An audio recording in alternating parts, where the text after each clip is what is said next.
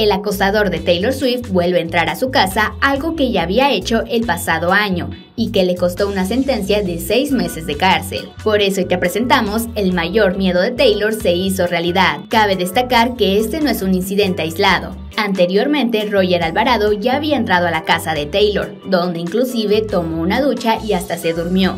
Durante ese tiempo, los actos delitivos le ameritaron seis meses de prisión y nueve años de libertad condicional. Sin embargo, todo indica que Roger no ha aprendido su lección. Según el diario local New York Post, Roger fue arrestado de madrugada tras haber entrado en la vivienda de Taylor, utilizando una escalera para trepar por la parte trasera del edificio y rompiendo una puerta de cristal con un ladrillo de concreto. Afortunadamente, mientras sucedía esto, Taylor no estaba en casa. Cabe destacar que todo esto sucedió este 7 de marzo de 2019 a las 2.20 am, cuando Roger irrumpió de manera ilegal al hogar de la celebridad en Nueva York. El post que cita fuentes anónimas explica que el artista no se encontraba en su casa y señala que para cuando los agentes de policía llegaron, el joven había rebuscado todo el apartamento. Taylor, una de las grandes estrellas del pop estadounidense, ha sufrido en los últimos años varios episodios con acosadores y en una entrevista reciente aseguró que su mayor miedo es sufrir un ataque durante sus conciertos. Cabe destacar que el año pasado trascendió que el artista utilizó un software de reconocimiento facial durante uno de sus conciertos en Los Ángeles para detectar acosadores entre el público. Definitivamente esta persona no aprendió su lección la primera vez,